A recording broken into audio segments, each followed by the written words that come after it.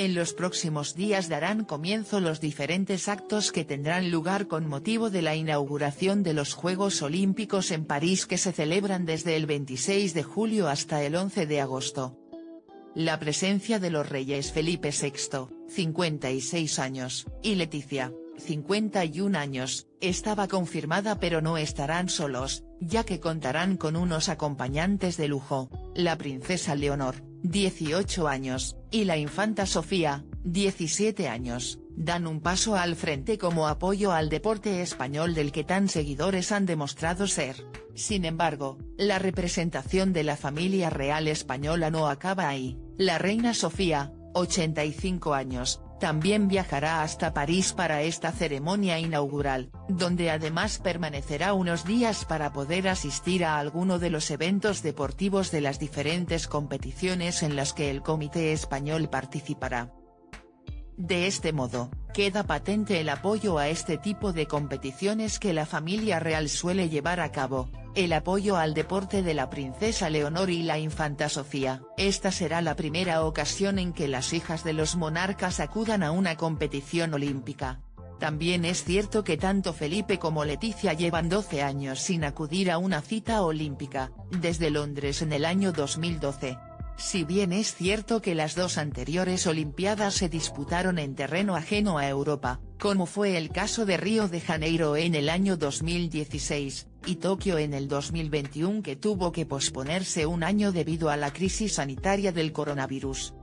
Recientemente tanto Leonor como Sofía han estado presentes en los actos de celebración de la Eurocopa de fútbol que conquistó el equipo español en Alemania en aquella final de infarto frente a Inglaterra.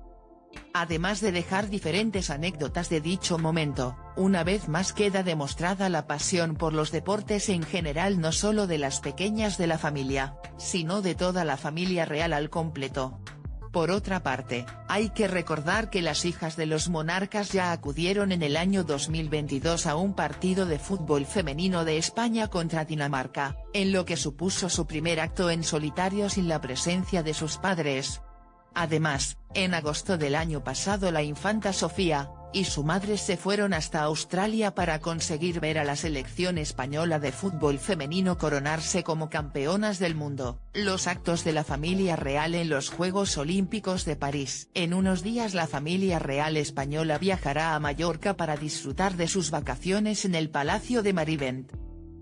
Además, será un momento de reunión familiar ya que este año es el primero que Felipe, y Leticia han estado sin sus dos hijas.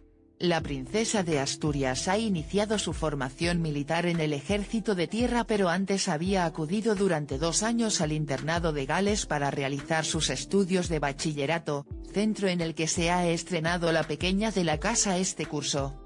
Pero los reyes tendrán que hacer un parón en sus vacaciones estivales para acudir a esta señalada cita deportiva en la capital francesa.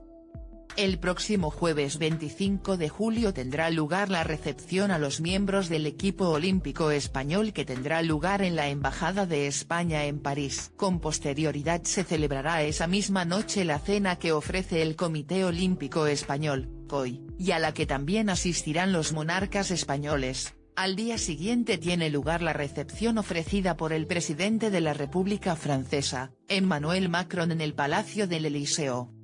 Tras ello pondrán rumbo a la plaza de Trocadero, donde tendrá lugar la ceremonia de inauguración de dicho evento deportivo internacional.